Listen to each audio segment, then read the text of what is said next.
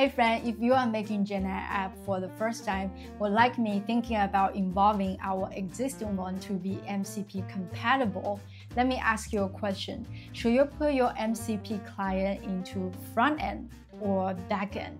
It's a deceptive simple question but took me weeks to really think it through. In this video, I'll walk you through a typical GenAI app architecture. I'll show you my problem solving process and share some tips can help you to make your architecture decisions for your app and why. Here's what our current architecture looks like. We have a front end and a back end.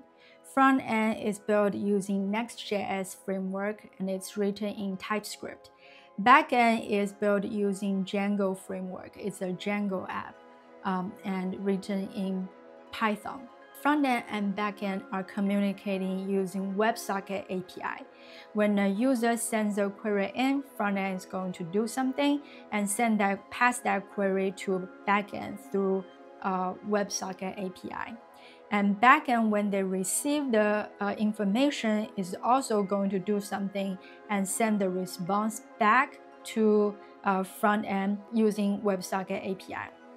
In the front end, once they receive the response, they're going to display the results uh, to users so the user can see it. Let's look at uh, the front end in depth. So when a user sends a query in, the front end is going to do the user, uh, it's going to get the user token. And the chat AI component is going to get the user query. The user is sending uh, input queries, and both the token and the query is going to be passed to back backend using WebSocket API. Once the backend receives the user token, it's going to try to check, hey, is the signature actually match? If match, then we authenticate the user. Only when we authenticate the user, we'll go to the next module, the RAG uh, retrieval augmented generation process that's when the user query is going to be converted into an embedding. Embedding is just a list of numbers, a mathematical representation of semantic meanings. And the embedding is going to send to Pinecone vector database. Pinecone is going to help us find the top K most relevant articles or videos and retrieve them as context and pass it back to a large language model. And large language model is going to think, hey, is the context relevant to answer the user question? If the answer is yes, then it's going to use the uh, context to generate the response and then send it back to the WebSocket API. However, if the answer is no, then it's going to use web search and then use the uh, web search results to generate the response and send again send the response back to WebSocket API. Once the WebSocket API receives the response, it's going to stream token by token in real time to front end front end will start to display them in markdown format so the user can start to read the answers. So in summary, uh, what our front end does is going to uh, get the user token and uh, pass the user query and token to uh, backend through the WebSocket API. And the core functionality of our backend is for user authentication and context uh, to get the context from Pinecone, as well as the LLM orchestration layer. So here's what confuses me. If we look at the documentation and the key participants of MCP architecture, you can see the MCP host is the AI application, okay? That's our front end and back end. MCP client is a component maintains connection with MCP server. That doesn't help. MCP server is a program provides context to MCP clients. And if we look down here, you can see MCP server can live outside of MCP host. However, MCP client lives inside of the MCP host. Besides, the term MCP client, client gives me the feeling of that maybe it's connected to front end. But if you look at the specification and look at the architecture here, and let's skip this diagram, you'll probably already see a thousand times. Read carefully about the definition of the host. The host creates and manages multiple clients, control clients, handle user authentication, coordinates AI and large language model integration, manage context aggregation.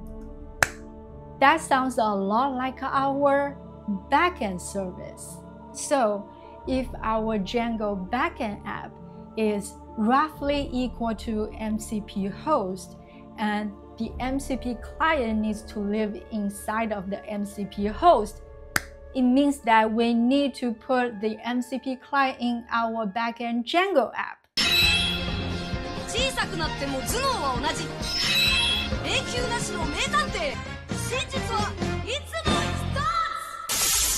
Now the mystery solved. We are back in business. That means we are going to uh, transform our backend architecture. So remember this before architecture, it gets the user query and token, does the authentication, has the RAG component, and after transformation to become MCP compatible, it's going to look like this. So the step one is still the same. We're still going to do the uh, user authentication. Step two is new. We're going to be a nice MCP host. We will spin up MCP clients, and the number of MCP clients you are going to spin up is equal to the number of MCP servers. And because what the MCP client does is the client is going to send a request to the MCP server and asking, hey, what you can do.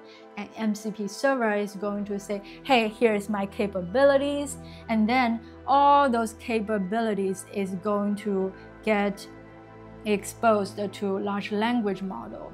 When large language model is ready to receive a user query, it's going to become aware hey, I have these capabilities. Do I need to use them? For example, if I need uh, a pinecone context, then the large language, language model is going to make a call to the MCP client 1, and client 1 is going to get the context from the RAG server and expose them as an MCP resource.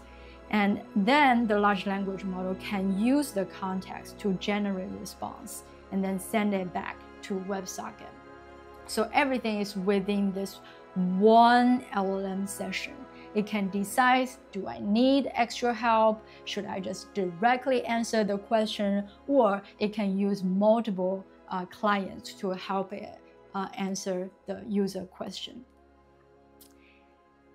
That, my friend, is how you decide where to put your MCP client. So remember the two key takeaways. Number one is MCP client doesn't equal to front end client. It has nothing to do with uh, the user interface. And key takeaway number two is the guiding question to think about where should you put your MCP client is to look at where does your current large language model orchestration layer lives? The MCP client should be close to the LLM orchestration layer because remember the large language model is not going to directly talk to MCP servers, but rather it's going to uh, talk to the MCP client, and then the client is going to talk to the server and get the list of capabilities. You know, it's the kind of I know a friend knows a friend, that kind of connection relationship. I hope this is helpful. If you are also evolving your GenAI app to be MCP compatible, i love to hear your thoughts. Or if you have any questions, feel free to leave in the comments below. That's a wrap for today. Have a lovely day. I hope to see you soon.